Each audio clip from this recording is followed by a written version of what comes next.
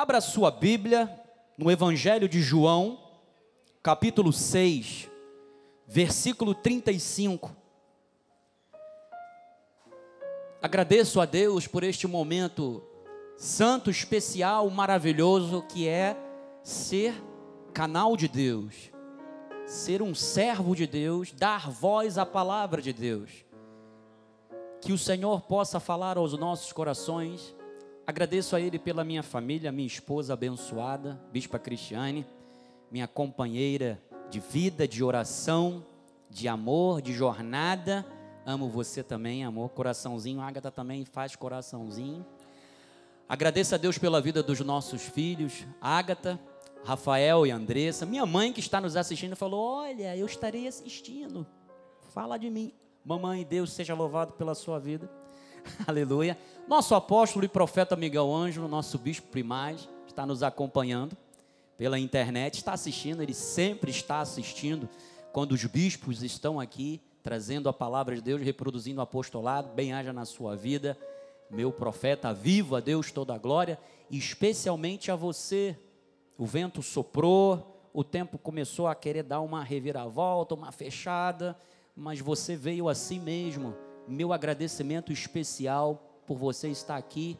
Eu sei que você está aqui por causa da palavra de Deus.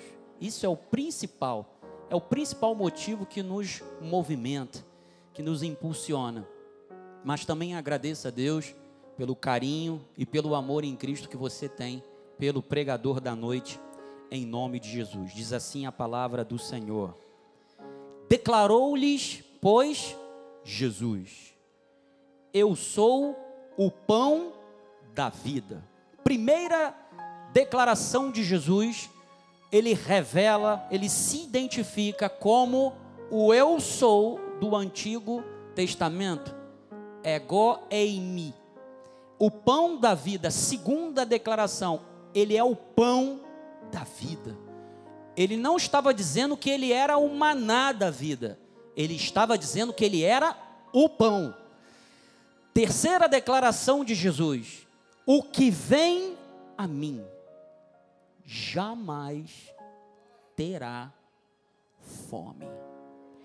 E a quarta declaração de Jesus: E o que crê em mim jamais terá sede.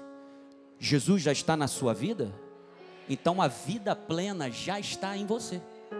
O que nós vamos aprender com a palavra de Deus é como viver essa vida plena e vamos superar os dias maus em nome de Jesus. Vamos submeter a nossa mente, o nosso espírito, as nossas almas ao Espírito Santo de Deus, ao seu conselho.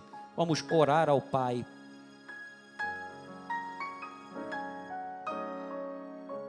Pai amado, Pai bendito, nosso pastor, o Senhor está neste exato momento nos dizendo: a mesa já está preparada, já está posta.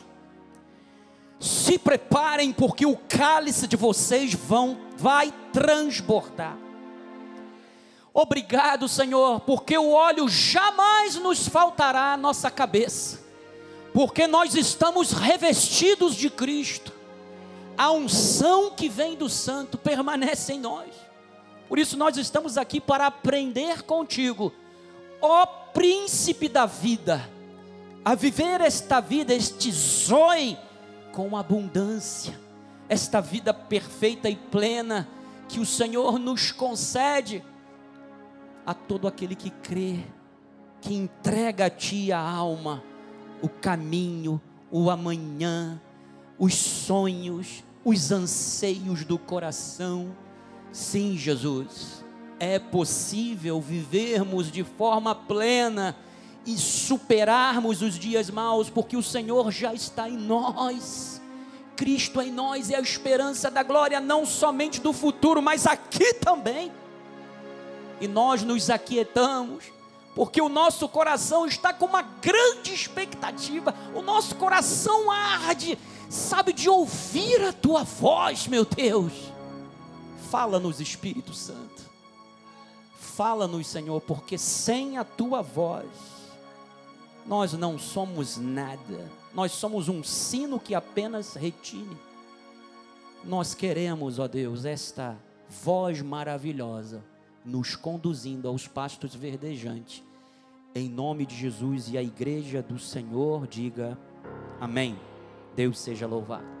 Abençoado do Senhor, amada, eleita, filho de Deus. Quando eu falo filho de Deus, é genericamente: filho, filha.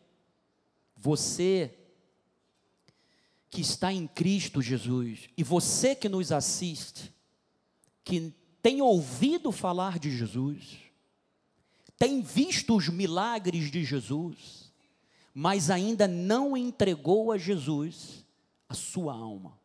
É com você também que eu tenho uma mensagem de Deus para o seu coração, para os teus anseios. O homem, ao desobedecer a Deus, desconectou-se do seu Criador, originando um vazio existencial. E por favor, quando eu falar vazio existencial, não pense você, ou você que nos assiste pela internet, que Deus é um tapa-buraco, que Jesus é um band-aid, que Ele é um remendo. Não. Quando nós falamos de vazio existencial, significa que há uma parte de você que está em busca de Deus. Porque nós fomos criados à imagem e semelhança do Senhor. E fomos predestinados conforme o seu beneplácito. Então, quando o homem se desconectou do seu Criador, originou-se um vazio existencial, porque ele se desvinculou da sua fonte, Jesus, o príncipe da vida. Eu gosto dessa expressão de Pedro, o príncipe da vida. Sabe, esta desconexão gerou um rompimento com Deus, nos matou espiritualmente, matou o homem, cegou-o espiritualmente, e desde então o ser humano anda numa busca frenética desenfreada em satisfazer as suas necessidades pessoais. Entretanto, essa busca é da maneira errada. Porque ele está cego espiritualmente e assim permanece separado de Deus. Jesus veio nos resgatar deste vazio espiritual. Ele veio nos tirar do abismo de onde o pecado nos lançou. Ele veio nos tirar de trevas espirituais e nos trouxe para um reino de luz. Ele nos tirou do castigo, da morte que o pecado nos escravizava e nos trouxe para um reino de paz, de amor, um reino esse que Paulo disse que é inabalável. Isto significa que a jurisdição que está na sua vida não é uma jurisdição humana, é uma jurisdição celestial. O monarca que governa a tua vida não está sujeito aos governantes, aos principados desta terra, mas ele é o cabeça de todo o principado, de toda a potestade, ele está no trono, ele reina, ele é soberano e um dia ele vai voltar. Um dia ele vai voltar. E um dia ele vai pedir contas do que nós fizemos, o que, que nós fizemos com a vida em abundância que Ele nos deu. Um dia, Ele pedirá contas daqueles que apostataram da fé, daqueles que de novo calcaram aos pés do Filho de Deus. Um dia, para nós, haverá, sabe, delícias perpétuas. Céu de glória. Um dia haverá também choro e ranger de dente. Então, amados, Jesus veio nos resgatar. essa fome de Deus, do seu amor, sabe, nos dando saciedade e plenitude de vida, nos reconectando à fonte de vida, nos fortalecendo para enfrentar os dias maus de maneira vitoriosa. O Senhor te fortalece não para qualquer coisa, não para viverdes de qualquer jeito, mas para viverdes de maneira vitoriosa, amado. Você está pensando que ser cabeça e não cauda é ter somente bens? Ser cabeça e não cauda é ser senhor das suas emoções. Ser cabeça nessa terra é saber fazer a coisa certa. Ser cabeça nessa terra é reconhecer que tudo o que está em nós e vem tudo que está em nós vem de Deus, porque nas mãos dele, sabe, está o engrandecer, sabe, nas mãos dele está o dar forças, é saber que ele é a minha fonte e que ele está comigo e que ninguém pode me parar nessa jornada, amado. A vida do cristão é um, é um atletismo, sabe, o atleta, quando ele corre, é o que Paulo falou, eu não quero saber das coisas que para trás ficam. Eu esqueço das coisas que para trás ficam. E o bispo Ricardo Rocha ontem falou algo muito interessante.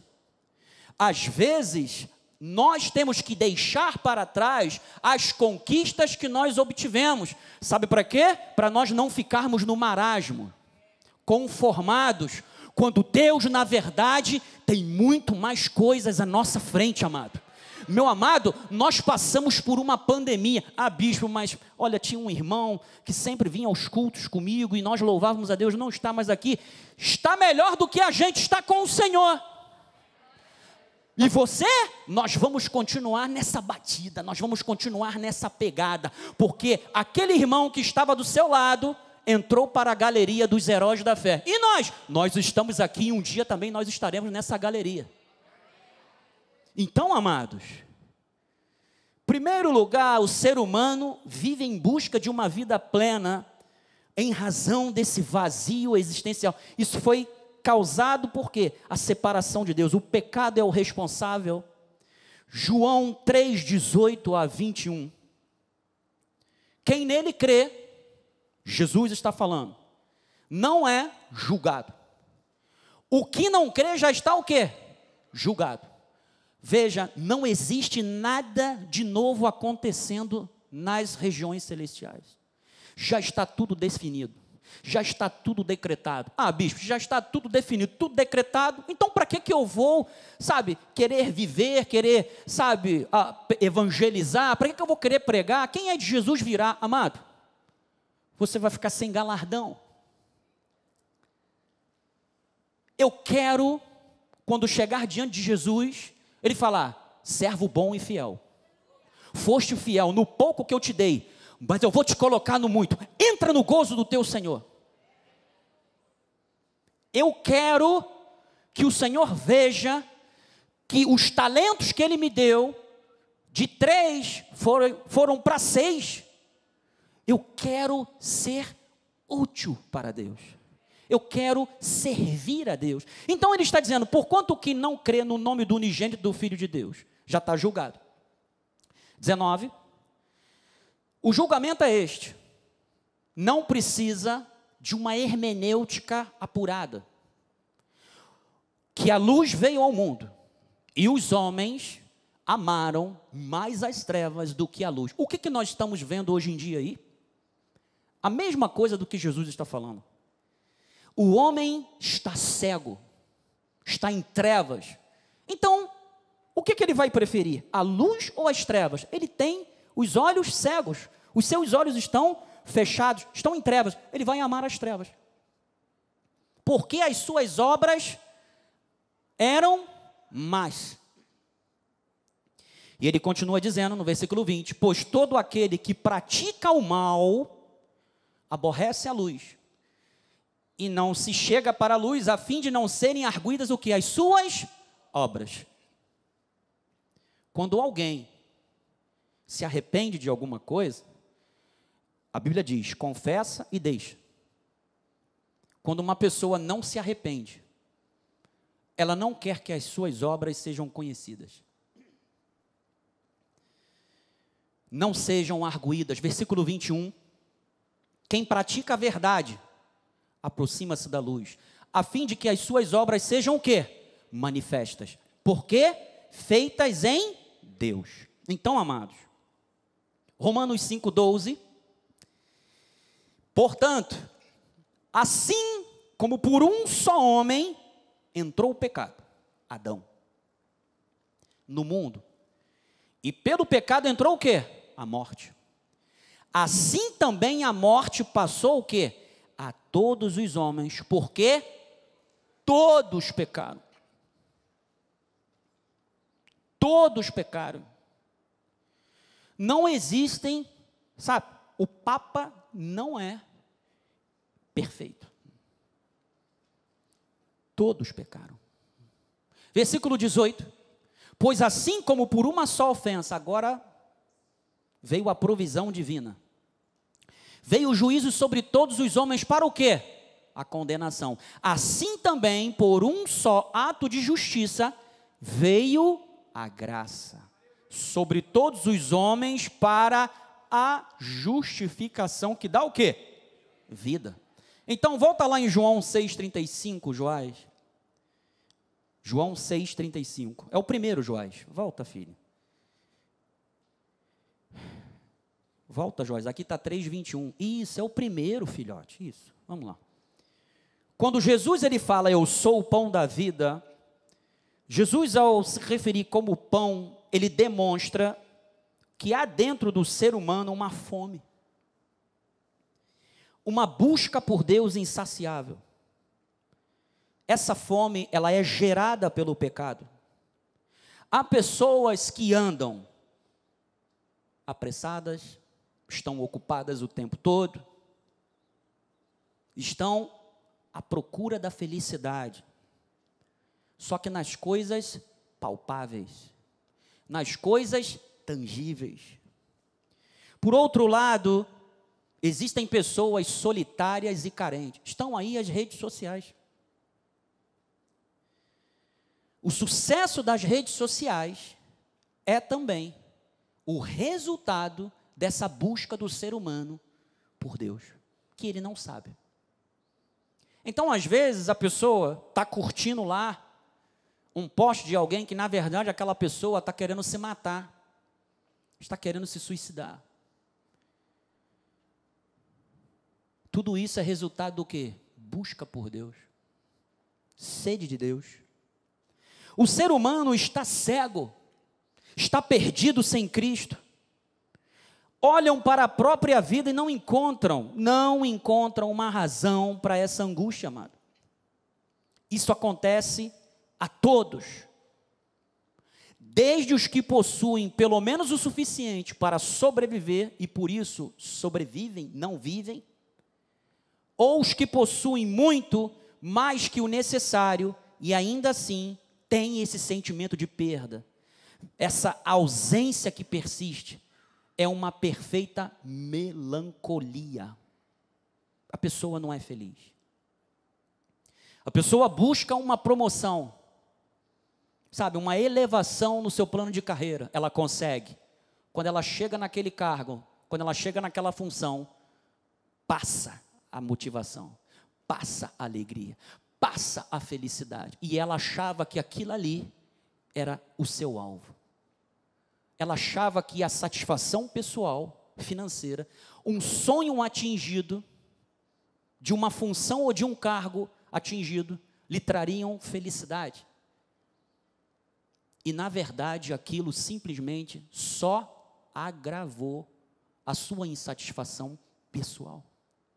Então, Jesus, quando ele disse, Eu sou, ego eimi, ele já estava se identificando como o Deus da abundância, o Deus do mais que suficiente o Deus absoluto e completo, ele estava revelando a sua divindade aos judeus, para que eles se lembrassem de quem os havia tirado da terra da escravidão do Egito.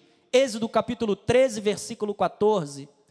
Disse Moisés a Deus: Eis que quando eu vier aos filhos de Israel e lhes disser: O Deus de vossos pais me enviou a vós outros, e eles me perguntarem: Qual é o seu nome? Que lhes direi? Olha a resposta de Deus. Disse Deus a Moisés: Eu sou o que sou. Ou seja, eu sou o único. Não tem ninguém acima de mim. Não há ninguém que se compare a quem eu sou. Abaixo de mim não há ninguém. Eu sou, disse mais, assim dirás aos filhos de Israel: Eu sou, me enviou a vós outros. Então, amados, o nosso Deus, Ele é o suficiente para as nossas vidas. Ele é o eu sou. Então, João 10, 10, vamos para a primeira evidência do que Jesus fala sobre não ter fome, sobre não ter sede. É, uma vida plena é composta de quê? Segurança. Não necessariamente nessa ordem, por favor. Emocional, física, financeira. Qual é o ser humano que não quer, que quer, que não quer constituir uma família? Quer ter uma estabilidade no emprego? Quer ter as suas emoções plenas? Sabe? Para que ele possa ter um bom relacionamento, não somente entre a sua família, esposa, filhos, pais, mas também no ambiente de trabalho. Sabe? Quer ter uma segurança física, nós estivemos vivendo uma pandemia. Saúde era muito mais do que dinheiro. Muito mais do que dinheiro. Então, segurança emocional, sabe? Não estou falando aqui da teoria de Maslow, por favor, aquela teoria de desejos e necessidades, não tem nada a ver isso. Jesus ele fala em João 10:10, 10, o ladrão vem somente para roubar, matar e destruir. Agora, Jesus, eu vim para que tenham vida e a tenham que? Em abundância. Ah, quando Pedro curou o paralítico, o coxo, que estava à beira da, do templo da, da Porta Formosa. Você pode até anotar, está lá em Atos 3, 11. Pedro, no seu sermão após a cura, ele disse que os israelitas ficaram assustados. E ele havia dito que Deus havia glorificado a Cristo a quem eles haviam traído, a quem eles haviam rejeitado. Ele disse: Vocês negaram o santo e o justo, está lá no versículo 14. Ele disse: Nós somos testemunhas de que este santo e justo que vocês mataram, Deus o ressuscitou, ele era o príncipe da vida. E lá no versículo 16, ele disse que por causa da fé no nome de Jesus, se fortaleceram os músculos e aquele homem passou a ter saúde perfeita. E Pedro os chamou de ignorantes, porque eles estavam cegos.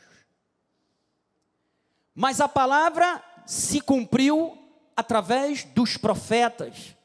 E aí Pedro disse no versículo 19: Arrependam-se dos vossos pecados, para que eles sejam, para que vocês sejam perdoados.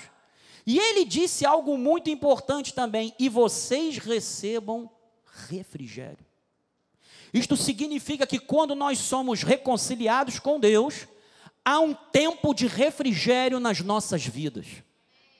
Foi por isso que Jesus ele havia dito: aquele que crê em mim, sabe, jamais terá sede.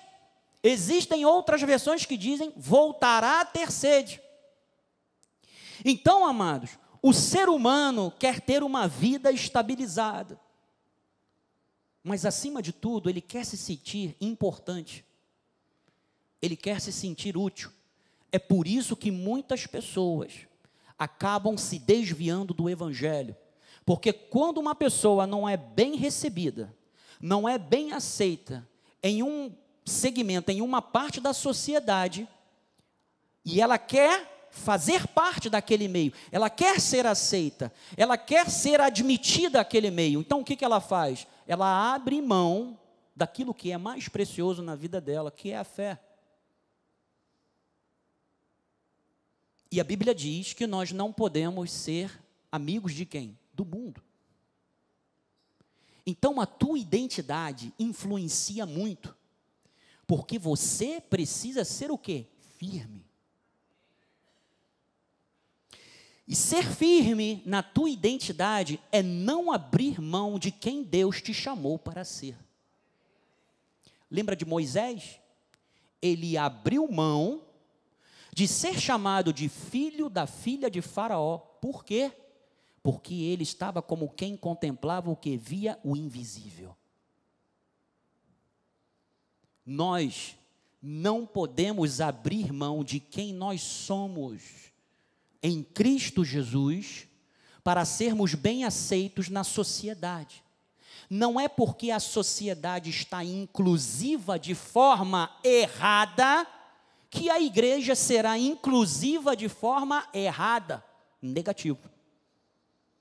A igreja recebe de braços abertos aqueles que estão enfrentando, sabe, lutas tremendas no que diz respeito à sua verdadeira identidade, quem Deus os criou para ser mas não podemos abrir mão da verdade de Deus. Não podemos. Porque se você abre mão de quem você é, você nunca será quem Deus determinou que você seja. Nunca. Pode demorar. Pode demorar. Davi começou a reinar com 30 anos, mas foi ungido com 17, um garoto.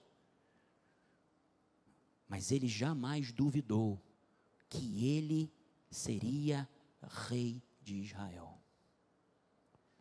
E mesmo quando teve a oportunidade de acertar as contas com Saul, ele não fez, porque quem era o rei, quem estava, quem estava rei era Saul. E ele disse: Eu não vou tocar no ungido de Deus. Foi por isso que o salmista havia dito: Ai daquele que tocar no ungido, toca na menina dos meus olhos. As tuas experiências não são à toa, não são descartáveis. As tuas experiências contribuirão para que você seja esse homem de Deus, essa mulher de Deus, que Deus estabeleceu, que Deus chamou, que Deus chamou, que Deus curou, que Deus vivificou, que Deus restaurou. Amado, você vai chegar lá. Deus te deu um objetivo, Deus te deu um sonho, foi Deus quem te deu, você vai chegar lá. E nós não precisamos abreviar as coisas. Nós não precisamos botar, esticar o pezinho para o próximo tropeçar e cair para você chegar na frente dele. Não precisa disso. A tua hora ainda vai chegar. Eclesiastes 3, há tempo e modo para todo propósito. Então, o ser humano quer se sentir amado, útil, porque ele quer servir, amado, a um desígnio maior. Sabe, ele quer agregar valor ao mundo. Olha só. Isto tudo é falta de Jesus. Somente Ele, como o pão da vida, pode nos dar essa saciedade de fome, de sede, nos mostrar o nosso verdadeiro propósito de vida. Então, muitos estão em busca de saciar essa fome e sede por meio de religiões, estão indo a templos, lugares errados, doutrinas erradas, às vezes doutrinas estranhas, na busca de saciarem as suas necessidades de segurança. Isso está intrínseco ao ser humano, por favor. Quem aqui dizer, que aqui, quem aqui diz que não liga para essas coisas, precisa fazer uma análise. Porque isso é parte do ser humano e é normal. Assim também como não é normal espiritualizarmos demais as coisas. Por favor, não podemos espiritualizar demais as coisas. Então, o mercenário não é o dono das ovelhas. João 10, 11. Eu sou o bom pastor. Olha o eu sou de Jesus de novo. Eu sou o bom pastor. O bom pastor dá a vida pelas ovelhas, versículo 12. O mercenário que não é pastor, e existem muitos mercenários que fingem que são pastores, mas estão ali somente pelo dinheiro ou pelo salário. A quem não pertence às ovelhas, vê vir o lobo e o que, que ele faz? Ele abandona as ovelhas e foge. O mercenário não tem compromisso em estar trazendo segurança, trazendo o abrigo para a ovelha. Ele não está preocupado com isso. O mercenário, ó, vai embora. Quando pessoa, você meu amado, que está nos assistindo pela internet, eu sei que muitos desigrejados estão desigrejados por causa do mercenário. Porque quando mais precisaram do conselho do pastor de ovelhas, porque o supremo pastor e bispo das nossas aulas constituiu pastores para apacentarem o rebanho de Deus, quando você mais precisou, ele te abandonou. Ele disse para você: se vira. Você arrumou esse problema, essa crise existencial. Você é uma criança eterna, porque você não sabe viver sem que alguém tenha pena de você. Muitos disseram para você: você se vitimiza muito. Isso é um mercenário. Você deu ouvidos a um mercenário. E ele disse que abandona as ovelhas e foge. Então o lobo as arrebata e dispersa. Versículo 13. O mercenário foge porque é mercenário e não tem cuidado com as ovelhas. Amado, preste atenção numa coisa. Quando eu falo que você deve ter as suas questões emocionais acertadas dentro de você, isso pode trazer consequências para a sua vida, tanto profissional quanto para a sua vida matrimonial ou dentro de uma família. Por exemplo, e aqui é homem ou mulher, em busca de aprovação, carência de afeto, Comportamento influencia emoções. Hábitos exercem poder nos comportamentos. Jesus, ele é capaz. O evangelho, ele traz a cura das emoções, das nossas almas. Mas o teu comportamento é algo que você tem que corrigir dia após dia. E isso passa muito pelo teu hábito. Isso passa muito pelo teu hábito. Um exemplo, Salmo 27, 10. O salmista disse: Se minha mãe e meu pai me desampararem, o Senhor me acolherá. O que, que significa isso? Pai e mãe são os maiores exemplos de quê? De amor, de segurança, dentro de uma família, sabe? É a expressão maior. Agora, quando eu recebo uma palavra dessa, ou pelo menos deveria de ser, mas existem pessoas que sofreram dentro dos seus lares.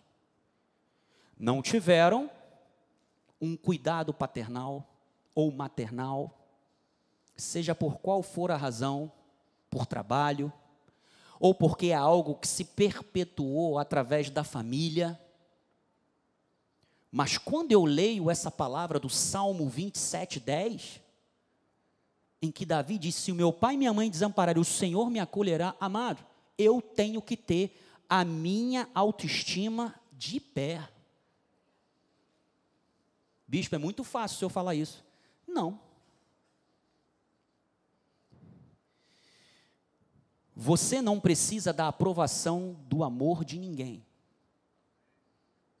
Você já é amado por Deus. Se alguém não consegue te amar, e se alguém não te vê como uma pessoa capaz, que pode estar junto ou próximo, você tem que sair de perto. Você não tem que se abaixar. Você não tem que se humilhar. Você é um filho de Deus. Você é uma filha de Deus. Está dentro de um relacionamento que, sabe, que há relacionamentos, existem casais que estão numa situação em que há um, um rompimento evidente e fica em um vai e vem. Sabe? Isso não é saudável. Deus não se agrada disso. Deus quer o quê? Objetividade. Ou vamos nos reconciliarmos, ou vamos com os, aos bispos e vamos conversar para resolvermos a nossa situação. Comportamento. Sabe? Os nossos comportamentos precisam ser mudados. Porque isso vai influenciar o quê? Nas tuas emoções, amado. Quem vai sofrer é você. É o próximo, é quem está ao redor, quem está próximo. Então, os judeus, eles estavam seguindo a Jesus. João 6, 22. No dia seguinte, a multidão, vamos retroceder um pouco, porque a nossa perícope ela é um, muito abrangente. A multidão que ficara do outro lado do mar notou que ali não havia senão um pequeno barco e que Jesus não embarcara nele com seus discípulos, tendo estes partido sós. Próximo, Joás. Entretanto, outros barquinhos chegaram de Tiberíades, perto do lugar onde comer o pão, tendo o Senhor dado graça. Esse episódio aconteceu depois de duas coisas. Jesus andou sobre o mar e depois que ele fez a multiplicação dos pães e peixes. Continua, Joás, por favor. Quando, pois, viu a multidão que Jesus não estava ali, nem os seus discípulos, tomaram os barcos e partiram para Cafarnaum à sua procura. 25. E tendo encontrado no outro lado do mar, lhe perguntaram: Mestre, quando chegaste aqui? 26. Olha a resposta de Jesus. Respondeu-lhe Jesus: Em verdade vos digo, vós me procurais. Não porque vistes os sinais, mas porque mas porque comeste dos pães e vos fartaste. Você sabe por que, que eles estavam indo atrás de Jesus? Para encher o bucho. Desculpe a expressão. Está ali. Amados, eu tive a mesma reação que você quando eu estava estudando isso aqui. Minha esposa é testemunha disso. Eles estavam interessados na comida. Aí está explicado por que crente, quando tem uma festa. Olha só, eu estava lendo uma. Não, Bispa Nilza, olha lá. A, eu sei que a aula da Bispa Ivete é a mais cheia. Gastronomia. É a mais cheia, eu não sei porquê. Bom, eu hoje li uma, uma manchete no Globo que dizia o seguinte: quando o ser humano vê comida, os neurônios dele acende. Sabia disso? Mostrei para minha esposa. Ser humano, quando vê comida, os neurônios se acendem logo. Imagina, deve ser uma árvore de Natal dentro da cabeça. Os judeus seguiam a Jesus não em busca de conhecer ele, aliás, nem por causa dos milagres que ele estava fazendo mas eles estavam em busca das suas próprias necessidades, mas de maneira errada, amado. De maneira errada. E não é isso que Deus tem para nós. Sabe, João 6, 27. 27, Joás, vai, filhote. Isso, o relógio é meu inimigo. Trabalhai não pela comida que perece, mas pela que subsiste para a vida eterna. Jesus começa a mostrar o que, que realmente deve ser prioritário na vida deles. Olha, vocês estão pensando de maneira errada, vamos organizar essa bagunça na cabeça de vocês. Primeiro, vocês estão vivendo de maneira esforçada, vocês estão trabalhando arduamente, porque vocês estão buscando as coisas terrenas. Só que na verdade vocês tinham que buscar as coisas de cima, as celestiais. Vocês se esquecem das celestiais. Você sabe o que vai acontecer? Só vai trazer mais cansaço e frustração. Porque quando eu entendo que quando eu busco o reino de Deus, todas as demais coisas me serão acrescentadas, eu tenho o que? Descanso. Eu consigo respirar. Sabe? Então, trabalhai não pela comida que perece, mas pela que subsiste para a vida eterna, o qual o Filho do homem vos dará. Porque Deus, o Pai, o confirmou com o seu selo, aprovação. 28. Dirigiram-se, pois, a ele, perguntando: que faremos para realizar as obras de Deus? E aí, versículo 30. Ah. Respondeu-lhe Jesus: A obra de Deus é esta: que creias naquele que por ele foi enviado. Você sabe qual é o único trabalho, o esforço que você tem que fazer? Crer. O justo viverá pela fé. Em Abacuque, o justo vivia da sua fé, do seu trabalho, do seu esforço. Por quê? Porque o ser humano escolheu dessa maneira. Moisés, fica lá no monte, nós vamos ficar aqui, à distância de Deus. O que Deus disser, dizer, nós vamos cumprir. Nem isso eles cumpriram. Foi o ser humano quem escolheu esse tipo de relacionamento. Deus vinha no Éden todo dia, na virada do dia, e batia um papo com Adão e Eva, maravilhoso, a presença de Deus. Quando eles desobedeceram, a primeira coisa que eles fizeram, se esconderam. Na verdade, Deus quer que você creia. Creia naquele que foi enviado. E ele continua dizendo no versículo 30. Então lhes disseram eles: Que sinal fazes para que o vejamos e creiamos em ti? Quais são os teus feitos? Você sabe por que, que eles estavam falando isso? Porque lá no mesmo Atos 3, quando Pedro estava pregando, no 22 e no 21, ele disse: o apóstolo pregou essa mensagem recentemente. Lembra? Todo aquele que não der ouvido será exterminado. Pedro havia dito o quê? Olha, Deus vos levantará um profeta semelhante a mim. Vocês vão escutar tudo o que ele está falando. E toda alma que não der ouvidos ao que esse profeta está falando será exterminada do povo. Ou seja, eles estavam comparando Jesus a quem? Moisés. Ele disse: Qual é o sinal? Quais são os teus feitos para que creiamos em ti? Versículo 31. Nossos pais comeram maná do deserto, veja. Eles comeram o maná do deserto, como está escrito: deu-lhes a comer pão do céu. Replicou-lhe Jesus, aí Jesus tem que corrigir. Oh, oh. Em verdade, em verdade, ou seja, ó, eu vou dizer e vou reafirmar: não foi Moisés quem vos deu o pão do céu, meu Pai. Foi Ele quem vos deu o pão do céu, não foi Moisés. O verdadeiro pão do céu é meu Pai quem vos dá. Ele estava falando: o verdadeiro pão do céu sou eu, não sou o maná, eu sou pão. Eu trago saciedade, eu não, eu acabo com a fome, eu extingo a sede. Próximo Joás porque o pão de Deus é o que desce dos céus e dá vida ao mundo, e não somente está restrito a uma tribo, a uma, a uma nação, mas sim a um povo espalhado à volta do planeta. Nações, língua, tribo e povos.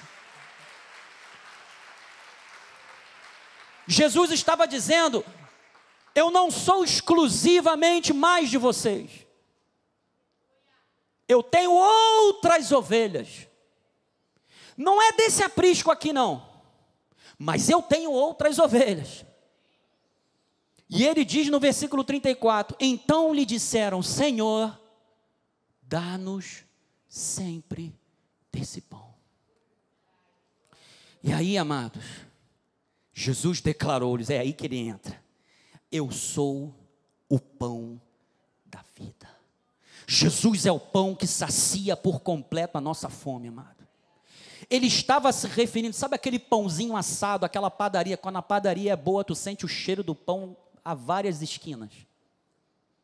Quem aqui não gosta de um pãozinho francês quentinho com a manteiga assim, ó, que tu bota, tu acaba colocando um quilo de manteiga, porque vai derretendo, tu, quer, tu acha que não está passando manteiga, tu vai botando mais manteiga, vai botando mais manteiga.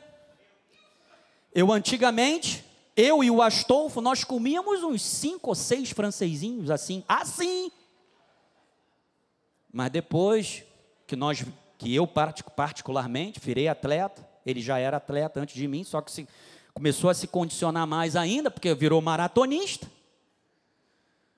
Aí não, é um só. Um pãozinho. Mas Jesus estava falando daquele pãozinho quente, gostoso. Mas olha, pão também significa alimento.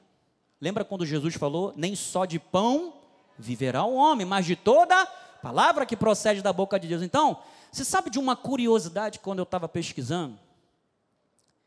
É que o pão de trigo continuava sendo a forma mais comum para quem podia pagar. Pão era um alimento caro. Hoje, você vai na padaria, quatro franceses, dois reais. Apesar dessa luta que nós estamos tendo aí na economia, que não é só no Brasil, mas estão pintando como se só o Brasil tivesse com problema.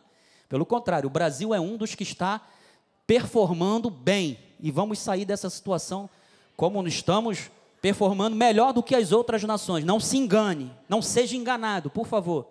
Então, os outros que não poderiam comer pão, porque o trigo era caro, Lembra do profeta Joel? As eiras se encherão de trigo e os lagares vão transbordar de óleo e de vinho. Hoje você lê, você pega uma lata de azeite e fala assim: Pô, isso aqui que Deus falou que ia transbordar. Amado, naquela época, azeite era ouro, trigo caríssimo, vinho então era bebida dos reis, amado. Então, enquanto quem podia pagar comia bolo de trigo, pão de trigo, os mais desfavorecidos, ou os mais pobres, você sabe o que, que eles comiam? Bolo de cevada. Eram mais comuns para os pobres que não podiam comprar trigo. Agora, John Flavel, que era um reformista britânico, ele disse o seguinte: o pão tem uma qualidade, a água tem uma outra qualidade, sabe? A vestimenta uma outra, o remédio tem uma outra, mas nada tem tudo em si como Cristo tem. E sabe por quê? Ele é pão para o faminto, ele é água para o sedento, ele é uma vestimenta para o nu, ele é a cura para o ferido, e tudo que uma alma pode desejar é encontrado nele. É em Jesus. Ele tem tudo que nós precisamos. Tudo. Então, essa palavra fome, do grego, pinal, do grego koiné, significa ter fome, estar faminto, metaforicamente, estar ardente, busca por um de, buscar por um desejo impetuoso. Quando você vai para os sinônimos, diz lá, paupérrimo, esfomeado, aquele que trabalha com muita dor e esforço para comer. Amados, preste atenção numa coisa. A vontade de Deus é que você creia naquele que Ele enviou. Pare de recorrer a estratégias, sabe? Ideias mirabolantes. Aquele evangelho que concentra no ser humano a solução de tudo. Jesus é o pão da vida. Ele tem tudo o que nós precisamos. Ele, sabe, ele é o único que pode acabar com esse desejo impetuoso. Essa fome, sabe, esse desejo ardente. Você que nos assiste pela internet, amado.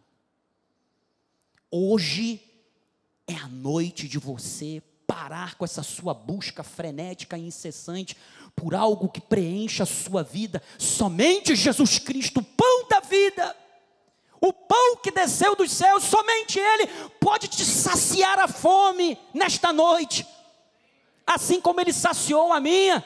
Agora, isto não significa, saciar de fome, de sede, não significa que nós vamos deixar, sabe, de buscar a Deus de forma ardente contínua. O que ele está dizendo é o seguinte: o problema do pecado já foi resolvido. É isso que ele quis dizer. Então, Cristo é o verdadeiro pão que satisfaz as necessidades do ser humano. Amado, não importa qual é a mesa, se é do rei ou se é do pobre, o pão nosso de cada dia nos foi dado para suprir as nossas necessidades pão de trigo hoje não é mais uma qualidade de só quem tem poder aquisitivo, ele é o pão nosso de cada dia, está nas nossas mesas, na nossa vida, todos os dias, está diante de nós todos os dias e nós temos que nos alimentarmos dele para vivermos por ele. Amado, o ser humano consegue ficar 50 dias sem comer. Você sabia disso? 50 dias o ser humano consegue ficar sem comer. Agora, quando ele diz, volta lá em João 6,35, Joás, ele disse: E o que crê em mim jamais terá sede. Sede do grego dipsaó, dipsaó significa ter sede, sofrer de sede figurativamente disse daqueles que sedentos sentem dolorosa necessidade. Existem pessoas que não entendem por que, que elas sentem uma dor que não se acaba, é uma dolorosa necessidade, que ele não sabe por quê, amado. A pior coisa nessa pandemia que foi enfrentada é porque os médicos não sabiam como estabelecer critérios para enfrentar esse vírus era algo novo. Eles não sabiam, sabe, não tinha um estudo que desse um referencial, sabe, um início, um start. E existem pessoas assim, que desejam a morte, porque estão cansados de sofrer por algo que elas desconhecem. Elas estão em busca, elas estão à procura. Isso é fome e sede de Jesus. Ansiosamente anseiam aquelas coisas pelas quais a alma é refrescada. Se você está aqui nesta noite precisando de um refrigério para a tua alma, você terá sua alma refrescada, você terá sua alma apoiada, você terá sua alma fortalecida. Isaías capítulo 49, versículo 10: Não terão fome nem sede, a calma nem o sol os afligirá porque o que deles se compadece, olha quem é que se compadece de você, amado, os guiará e os conduzirá aos mananciais das águas. Versículo 11: Transformarei todos os meus montes em caminhos, e as minhas veredas serão alteadas. Isso é o que Deus fará com você. Você que nos assiste pela internet, amado. Isso é o que Deus fará com você. Sabe? O que os montes que você tem enfrentado se transformarão em caminhos que te levarão à vida em abundância que é o próprio Jesus.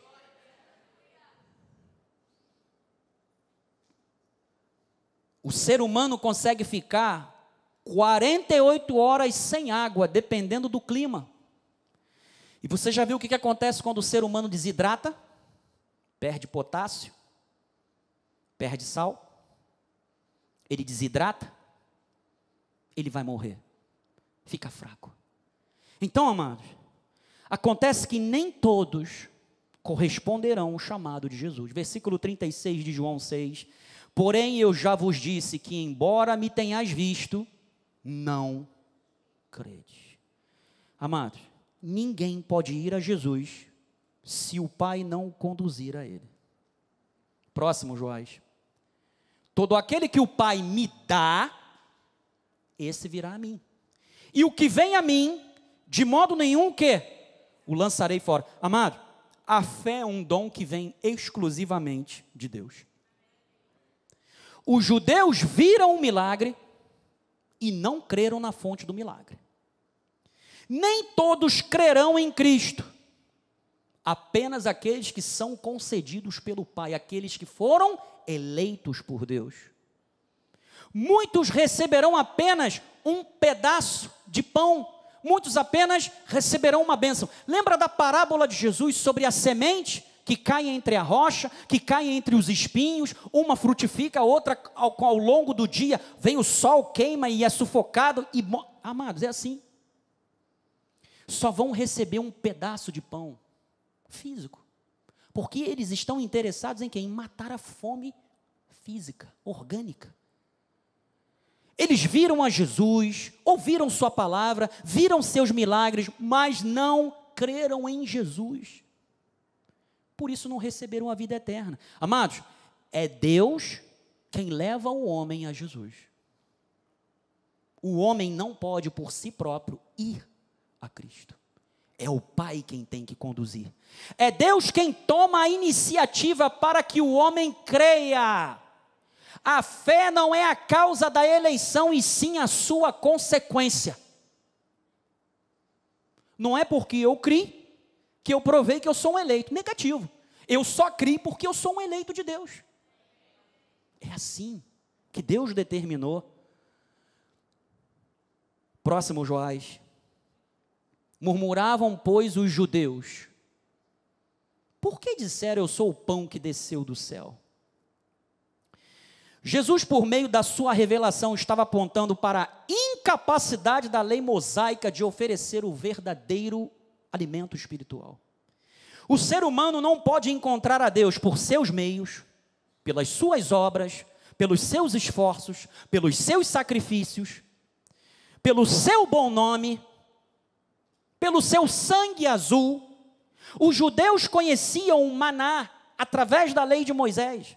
Eles não conheciam o pão da vida, que é Cristo, eles não conheciam a graça, e a graça estava diante deles. Existem muitas pessoas que estão diante da graça hoje, mas preferem a lei, preferem Moisés, preferem o esforço, porque querem mostrar para Deus que elas são capazes de ajudarem a Deus. Porque crer tão somente é muito fácil, entre aspas, não é não. É mais difícil do que você sacrificar ou jejuar por causa de alguma coisa. O que, que é mais difícil?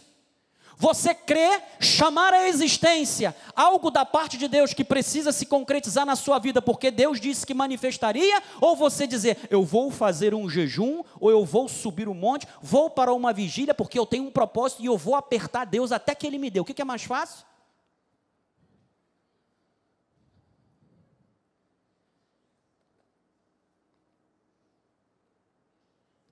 Eu sou o pão do que desceu do céu. 42, Joás. E diziam: Não é este Jesus o filho de José? Acaso não lhe conhecemos o pai e a mãe? Como, pois, agora diz: Desci do céu?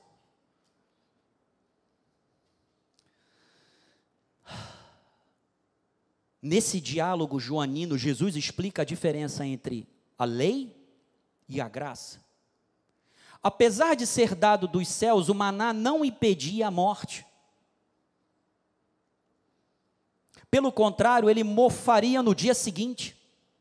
O pão verdadeiro que veio dos céus nos trouxe graça sobre graça, da sua plenitude, temos, pois, recebido o que? Graça sobre graça. Versículo 48, Joás. Eu sou o pão da vida. Vossos pais comeram o maná no deserto e morreram.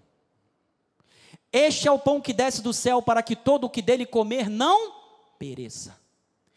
Aí Jesus, mais uma vez, eu sou o pão vivo que desceu do céu. Se alguém dele comer, viverá eternamente. E o pão que eu darei pela minha vida, pela vida do mundo, é o que a minha carne. Então, amados, Cristo é a certeza de que nós venceremos os dias maus, porque Ele é tudo o que nós precisamos. Preste atenção, no maná, o maná do deserto, ele era mastigado, os dentes. Mesmo quem não tinha dente, tinha dentadura, enfim, implante, mastigava o maná, alimentava o estômago, mas o pão da vida ele é ingerido pela fé, ele é ingerido pela nossa alma, é por isso que ele traz saciedade, amado.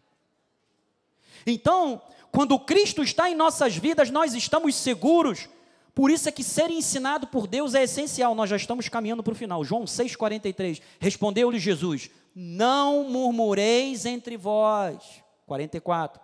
Ninguém,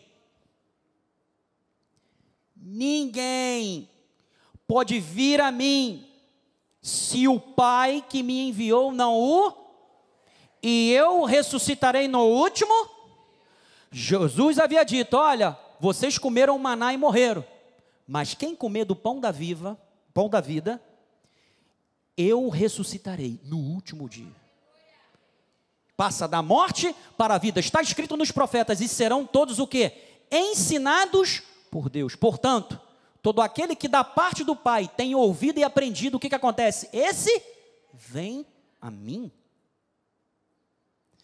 Não que alguém tenha visto o Pai, salvo aquele que vem de Deus. Este o tem visto. 47. Em verdade, em verdade vos digo: quem crê em mim tem a vida eterna.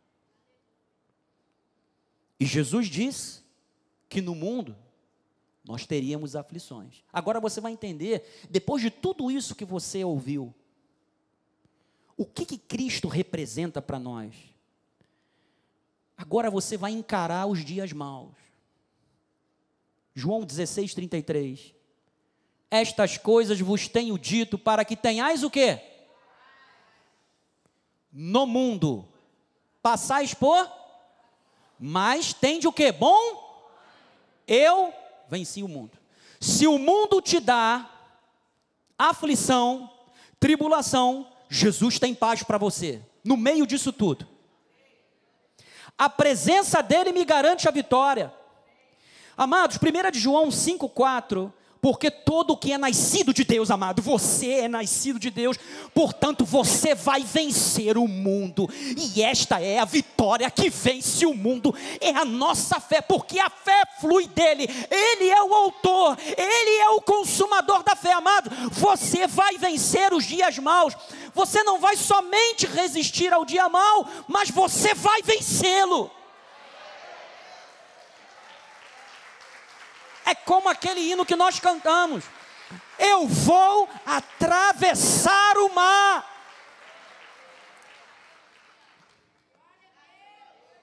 A vitória é alcançada através da fé nele.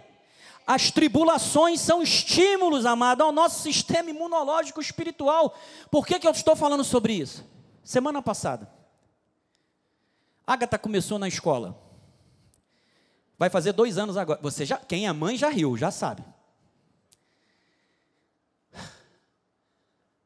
Agatha, primeiro dia, uma choradeira. Acabou o mundo. Meu Deus. E a mãe e o pai, né? Não, eu não chorei na frente dela. Não. Que isso, amado? Eu não chorei na frente dela, não. Ela falou: Você me deixou sozinha. Onde que você estava? Eu falei: Eu estava dando a volta com o carro. E eu estava chorando dentro do carro. Ela sabe que eu estava com o olho todo vermelho. Com os primeiros não foi assim, não, amado. Não sei porquê. Acho que é a idade. E aí, eu vou ser breve, por favor, tá? E aí, chegou no dia seguinte, Agatha irritada, não conseguia dormir. Não conseguia dormir. Um desespero da noite. Falei, pô, deve ser por causa da escola. Quando chegou quarta-feira, a Agatha começou a tossir. Eu falei, Cris, a Agatha está tossindo muito. Quarta-feira de noite. Foi quarta de noite, né? Febre. Quinta. Chegou quinta-feira de noite. De manhã depois de noite. Ágata com febre. Eu falei, pronto. Sempre quando o bispo Sérgio e eu vamos pregar, o inimigo levanta um sanhaço. Desculpa a expressão de falar. Sempre.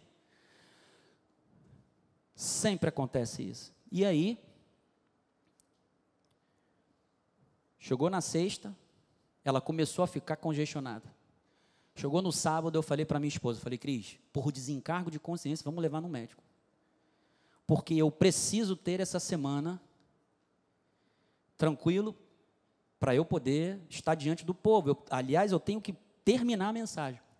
Levamos numa médica, graças a Deus, muito usada por Deus. Sempre Deus seja louvado pelos médicos. E a médica falou: olha, isso é para a influenza. Toda criança, até os 5 anos de idade, sofre com esse vírus. Porque o sistema imunológico dele não está ainda pronto para enfrentar esse vírus. Então, é normal. Eu falei, Cris, se prepara porque lá vem sofrimento. Porque o sistema neuro, é, o sistema imunológico dela tem que ser, tem que ser estimulado para poder o quê? Ser fortalecido. Amados, assim é a nossa vida.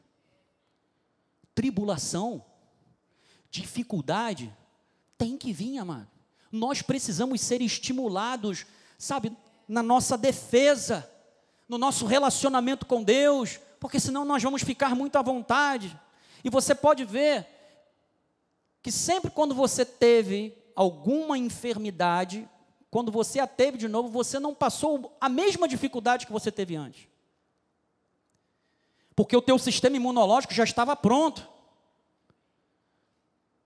Então, o seu sistema imunológico espiritual precisa ser trabalhado.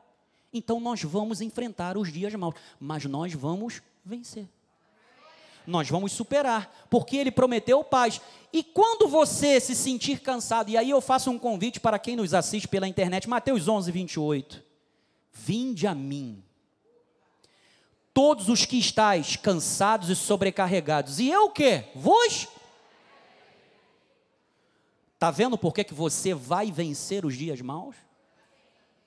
Ah, bispo, está demais, a luta está de... Vai vencer. Ai, mas está... Vai vencer. Ah, mas eu estou com muito problema.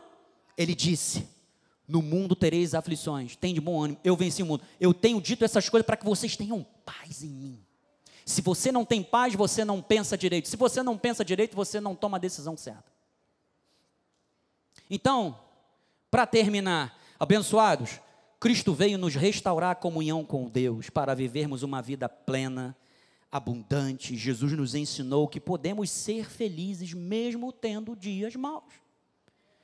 Que podemos ver através dele a verdadeira luz em dias escuros e tenebrosos. O que ele exige de nós é a entrega entrega de nossas almas que olhemos para Ele independentemente das circunstâncias, pois é através dele que a fé opera. Em nossa jornada de vida encontraremos dias maus, mas a fé que flui de Jesus nos conduzirá à vitória. Então, somente entrega a tua vida. Amados, você que nos assiste pela internet, entrega a tua vida a Jesus. Confesse a Cristo como teu Senhor e Salvador. Receba agora a graça de Deus na sua vida. Porque o profeta Isaías, no capítulo 51, versículo 1, diz: Ah, todos vós, 55, 1, Ah, todos vós, os que tendes sede, vinde às águas. E vós, os que não tendes dinheiro, vinde, comprai e comei. Olha o pão da vida te sendo oferecido te sendo oferecido, não, te sendo apresentado nesta noite, porque Jesus não é Coca-Cola para ser oferecido. Vinde comprai sem dinheiro e sem preço, vinho e leite. Versículo 2: Por que gastais o dinheiro naquilo que não é pão, e o vosso suor naquilo que não satisfaz? Ouvi-me atentamente. Olha o que Deus tem para nós. Comei o que é bom, e vos deleitareis com finos manjares. Versículo 3: Inclinai os ouvidos e vinde a mim. Ouvi, e a vossa alma viverá. Porque convosco, e ele já fez, farei uma aliança perpétua, é a graça de Deus, que consiste nas fiéis misericórdias prometidas a Davi. Você que nos assiste pela internet, ou você que está aqui, que não entregou a sua vida ao pão da vida, é momento. Deus falou a você, você foi ensinado por Deus. É momento desse vazio existencial acabar. É momento de você ser reconciliado com a fonte que é Jesus Cristo. Porque esta é a vontade do Pai Celestial, porque assim disse o pão da vida. Em nome de Jesus. Vamos ficar de pé, por favor. Bispa Cristiane fará a oração final e nos dará a bênção apostólica, por favor. Amém. Senhor, meu Deus e Pai, obrigado, Senhor, porque Tu és o pão da vida. Obrigado porque em Ti somos nutridos e estamos saciados. Na sede e na fome, Senhor, porque a Tua graça nos basta.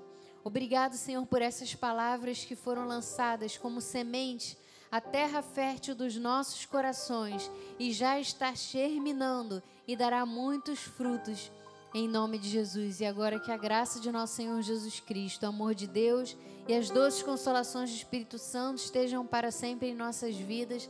Damos ordens aos anjos de Deus que nos guardem, livrem todos os nossos caminhos. Chegaremos em casa em paz e segurança e teremos uma semana em perfeita vitória, em nome de Jesus. Amém. Aleluia. Uma boa semana a todos. Vá em paz, vá feliz. Olhe para o seu irmão e diga para ele: tenha uma semana de paz, de tranquilidade, de vitória. Jesus venceu, você vencerá. Tenha uma semana de vida em abundância e plena. Graça e paz. Aleluias.